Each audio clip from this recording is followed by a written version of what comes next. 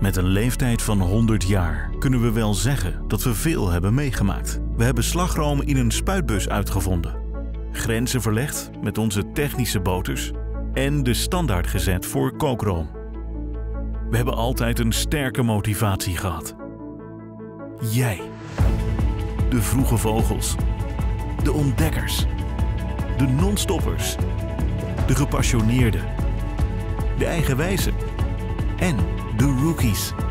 Bedankt voor het inspireren. Bedankt voor 100 jaar teamwork. We kijken uit naar de komende 100 jaar. De Biek, gemaakt voor professionele handen.